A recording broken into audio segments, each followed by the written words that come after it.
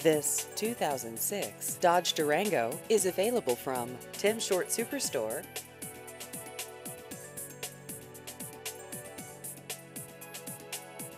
This vehicle has just over 114,000 miles.